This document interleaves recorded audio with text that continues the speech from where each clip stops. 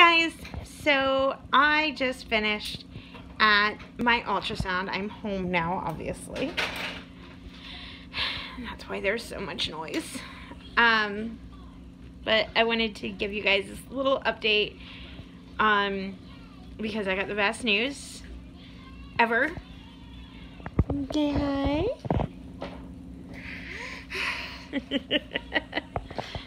That's not the best news ever. Even though he's the cutest ever. Aren't you? Are you the cutest? Hi. um, no, the best news ever is the fact that Allie is has caught up to her fluid. So there's no more extra fluid going on in there. Um,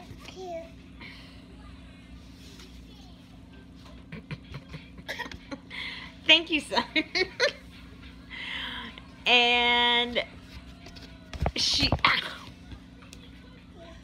she is looking really good. Um, ow.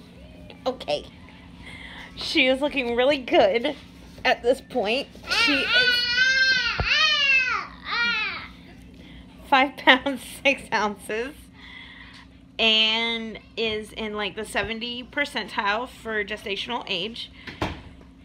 So, and she is confirmed to be head down. Um, she's still sunny side up. Um, but she she's still sunny side up, but she still has time to flip to her stomach, which I'm hoping she does because I really don't want back labor again. But if she doesn't, that's okay. Life goes on. And I'm really, really, really excited. I'm really, really, really, really happy. Yeah, you can play with that. Really happy with everything. And it's like a huge relief to know I'm not going to need weekly ultrasounds between now and when I deliver. Like, it's a huge financial relief. It's a huge stress relief because it's one less day that I don't have to find a babysitter. Um, so that is amazing. Um, but yeah, so we're doing good. Um, my we have a conflict of interest. Um, don't hit me with that, please. It's got a DVD case. Um, we have a conflict of interest. Um, the my OBGYN has scheduled me to be induced at 38 weeks and 3 days.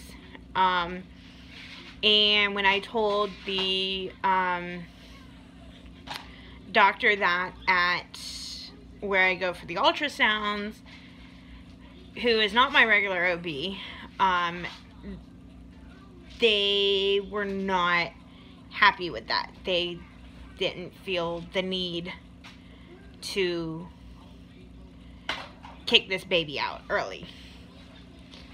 Um, so when I go back in a couple weeks for another doctor's appointment, I will talk to them. Um, obviously, they'll have the notes, and you know, we'll just see. Um, I'm fine with her coming at 38 weeks and three days.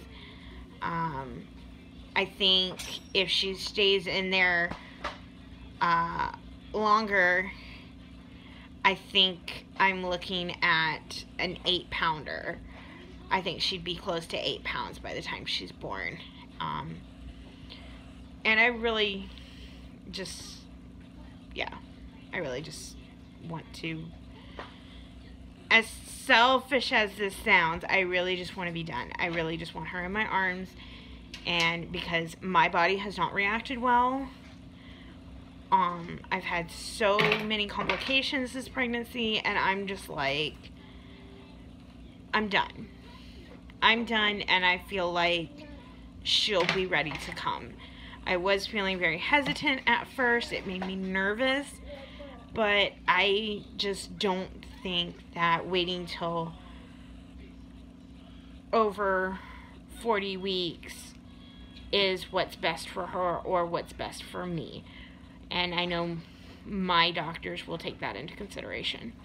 Um, so, yeah. So we'll see what happens. Uh, and, but yeah, they were impressed with my blood pressure. It was 122 over 83. Um, so that was good. Um, and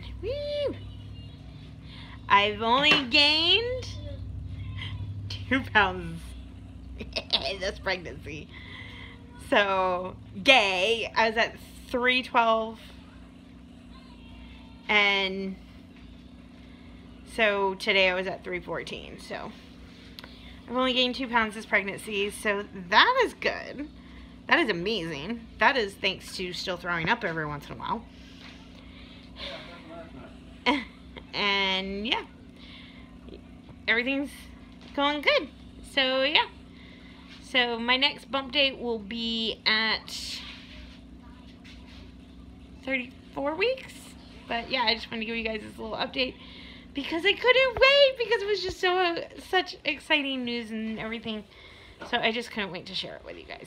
So anyway, I'll talk to you guys in my next video.